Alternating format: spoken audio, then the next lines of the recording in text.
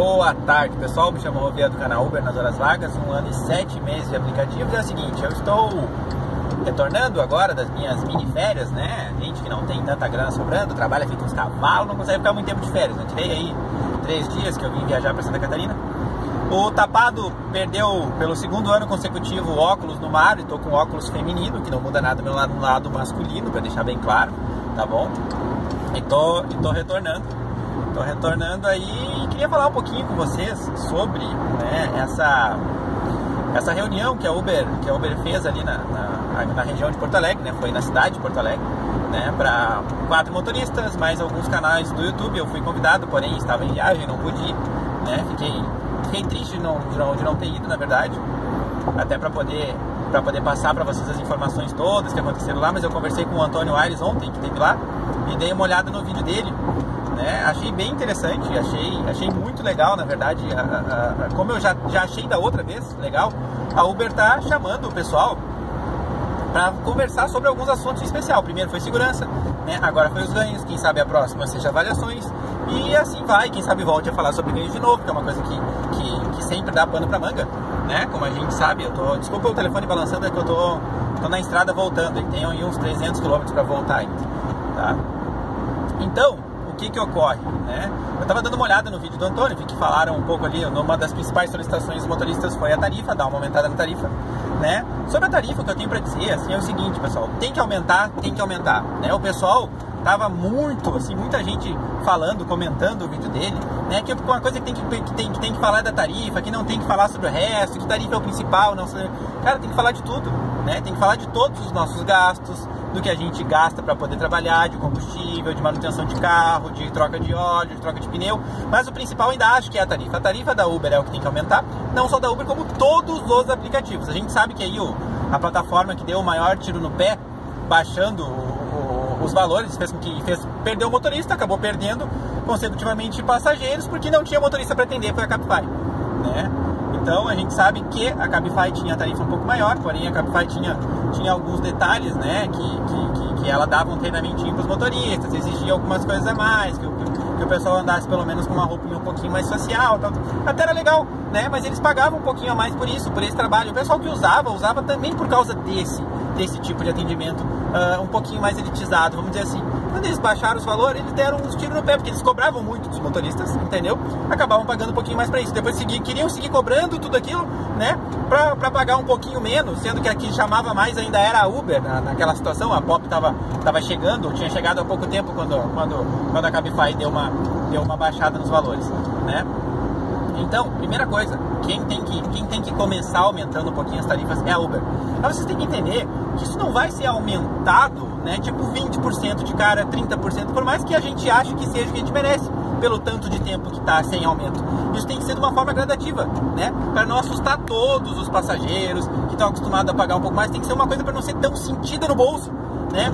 Quem sabe uns 10%, depois mais uns meses mais 10%, entendeu? Para ficar bom e agradável para nós e também não pode ficar pesado para o passageiro.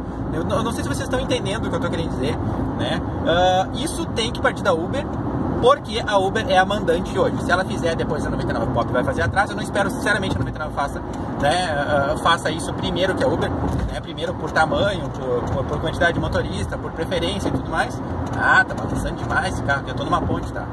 Então é isso aí, vai balançar mesmo a tela aí, é melhor só escutar minha voz e não olhar minha cara. Então, eu acredito que a Uber tem que começar com isso para começar a aumentar um pouco as tarifas. É o que tem que ficar claro é que a gente não quer prejudicar o passageiro. É que a gente quer que todo mundo entenda que a gente precisa de um aumento, porque tudo aumenta todo ano. Né? E foi isso que eu entendi que, ele, que, que, eles falaram lá. Tudo aumenta todo ano, em torno de 10%. Eu vou segurar na minha mão enquanto eu passo a ponte, né? Tudo aumenta em torno de 10% todo ano. Então tá na hora de aumentar também as nossas tarifas, pelo menos os 10%, né? Começar, começar. E é isso que eu acredito. Muita gente eu vi falando também nos comentários lá, né? Como comentam nos meus vídeos também, que a gente é puxa-saco da Uber, que não sei o que, tal, tal, tal, um bando de besteira, né? Pelo amor de Deus, seus malucos, parem de falar essas besteiras, entendeu? A gente não ganha nada da Uber para fazer, para essas reuniões, entendeu? Para falar alguma coisa qualquer. Claro que eles, que eles nos chamam também pra gente repassar as informações, e é o que a gente faz Né? E eu fico muito contente com isso, porque antes eles tomavam as decisões da cabeça deles, dos estudos deles, sem escutar a gente que é motorista e está dia a dia na rua. Então, hoje que eles fazem isso, a gente tem que ficar contente não ir lá, enfiar o pé no pescoço, que nem muito maluco quer que a gente faça. Ninguém vai chegar lá, a gente, quando eu falo é a gente, tem canal no YouTube, e os motoristas que foram lá. Foram, foi convidados motoristas também, que não tem canal no YouTube. Ninguém chega lá, ninguém chega em lugar nenhum e bota o pé no pescoço, tu vai fazer isso desse jeito que eu tô falando que é. Entendam, as coisas acontecem de uma maneira tranquila e tem que ser desse jeito. A gente precisa do aumento, precisa do aumento, mas não vai ser com grosseria, com animalista. Que nem eu vi, eu vi, eu vi um cara escrever assim, ó. Pega um pai de família que precisa, então a gente que trabalha todos os dias, que faz 500 corridas por mês, não precisa. Entendeu? A gente faz por esporte. Então, pelo amor de Deus, vamos se situar, entendeu? Vamos, vamos se acordar, não é assim que as coisas funcionam, as coisas não vão ser resolvidas desse jeito, nunca, né? Tem que ser na boa, passei a deixa eu devolver aqui. Tem que ser na boa, tem que ser conversando, né? E eles têm que entender o nosso lado, a gente também tem que entender quanto empresas eles precisam de lucros, e por aí vai, faz parte do processo, como eu sempre digo, nada é perfeito para todos os lados. Algum lado às vezes perde, no momento a gente está perdendo, mas esperamos que isso mude. Né? Também falo que a gente não faz vídeo cobrando aumento dos aplicativos. Olha, eu acho que nos últimos quatro vídeos que eu fiz, eu tenho falado que a gente precisa de um aumento dos aplicativos, entendeu? Gente precisa ganhar um pouquinho mais, né? Eu sempre defendo também, vou dizer, ah, eu defendo. Não, muito pelo contrário. Eu acho que cada pessoa tem que trabalhar no aplicativo que ela se sente mais confortável, no aplicativo que ela ganha mais, no aplicativo que ela se incomoda menos. Eu tenho amigos meus que preferem, trabalham na mesma região que eu. Eu prefiro trabalhar com Uber, tá? Mas tem amigos que trabalham com a 99 Pop porque acham que é mais tranquilo, pelo menos não se incomodam, né, com o estresse das estrelinhas, que a gente sabe que é um estresse, entendeu? A gente vive tomando uh, nota baixa sem fazer absolutamente nada de errado tratando todo mundo bem, tratando todo mundo do mesmo jeito. E sempre a gente toma uma estrela, uma, duas, três, por nada, quando não aconteceu nem sequer um detalhezinho de errado que a gente possa dizer, não, foi aquele passageiro lá que nos avaliou mal porque não quis, né, porque ele queria fazer uma parada e carregar uma criança em cadeirinha, ou porque ele queria fazer uma parada no mercado e não quis fazer. Não, às vezes não acontece absolutamente nada e tu vai lá e toma uma estrela ruim. Isso é uma pressão na nossa cabeça, é chato pra caramba porque a gente não consegue evitar. Mas faz parte do processo, é o dia a dia. Então, tem gente que trabalha na Uber por causa de ganhos, outros trabalham na 99 Pop por causa que não tem essa incomodação com as, com as estrelinhas e, e consegue fazer mais grana na 99 também. Então, cada um sabe de si. Eu tenho outro parceiro que adora a Cabify. Ele não está conseguindo trabalhar na Cabify agora, mas ele disse que se a Cabify conseguir dar uma melhoradinha, ele volta para a Cabify correndo, porque a Cabify para ele é o melhor tipo de é o, é o melhor é o melhor aplicativo de trabalho. E a gente sabe que a, que, o, que a Cabify tinha um histórico de ser um aplicativo muito bom. Né? Era o mais seguro de todos eles, é o que dava todas as informações que a gente pede para Uber. Todas as informações que faltam no 99 Pop era a Cabify. Só que, como eu falei, a Cabify deu um tiro no pé e eu espero que, quem sabe, ela aumente as tarifas dela, né, para chamar mais motorista de novo ajude bastante, porque ela é mais exigente com os seus motoristas, entendeu? Então, tem que ter valor para isso, e isso é muito importante. Gente, o que eu queria falar é isso, tá? Comentar que a gente tem que esperar um pouquinho agora, né? Uh, eu fico contente que a Uber está dando essa oportunidade de conversa, como eu falei antes, e vamos esperar ver se as coisas melhoram.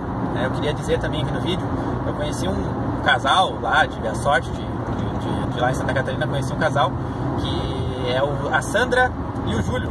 Né? A Sandra e o Júlio, um casal muito gente boa, os dois são Uber nas horas vagas, assim como eu. Né? Eles têm os seus empregos, a Sandra é, é, professora, o Júlio trabalha numa corretora de seguros, né? uma seguradora, acho que é, uma seguradora. E ele é um cara muito gente boa, ela também muito simpática, bati um papo com eles lá, conversei um pouco sobre o trabalho deles, né? E uma parte boa das minhas férias foi ter conhecido os dois. Muito obrigado a, a Sandra e o Júlio que foram lá me conhecer e eu fiquei muito contente, muito contente com isso. Tá bom, gente? Uh, se gostaram do vídeo, como sempre, compartilha, tá? Se o canal agrega alguma coisa para vocês, entendeu? Se inscreva no canal, né? Se não agrega nada, não se inscreva e entenda, o meu canal não tá aqui, né? Eu não tô aqui para botar pilha, para fazer briga, para defender o aplicativo A ou B. Eu falo a forma que eu trabalho e eu falo, eu falo do meu, do, do jeito que eu penso, entendeu? Do jeito que eu penso. Ninguém é obrigado a concordar. E aliás, o que eu mais gosto é dos relatos de todo mundo. Todo mundo tem que ter, tem que ter, uh, todo mundo tem o direito de falar tudo que pensa, da forma que pensa, mas não é sendo grosseiro e agredindo as pessoas que vai conhecer alguma coisa, que vai conseguir alguma coisa, né? Chega até a me enrolar aqui. aproveitem que a Uber, né? Uh, eu acho que todos os aplicativos, na verdade, eles olham os nossos canais, eles olham o que a gente está dizendo e eles olham os relatos de vocês. Então, escrevam nos comentários o que vocês acham que pode ser feito para melhorar os nossos ganhos, entendeu? O que vocês acham que pode ser feito para melhorar as nossas despesas, para diminuir as nossas despesas. Deem ideias, escrevam aqui, que eles vão estar tá lendo. Só xingar não vai adiantar de nada. Só falar besteira não adianta de nada. Então faz o seguinte, se tá tão ruim trabalhar assim, entendeu? Não trabalha, mas não fica só reclamando, entendeu? Reclama, faz tua solicitação, faz teu pedido, mas não fica só falando mal, entendeu? Dá uma ideia, ajuda, bota a cabeça a funcionar e dá uma ideia do que pode ser feito, né? Espero que tenha sido claro todos vocês, né? Não quero ser grosseiro com ninguém, não é o meu jeito de ser, entendeu? É só uma chamada de atenção em todo mundo que costuma mais xingar, né, do que fazer alguma coisa de verdade que vá auxiliar todo mundo. Um grande abraço para todo mundo, siga a viagem, que ainda faltam uns 200 km para chegar, eu acho, sei lá.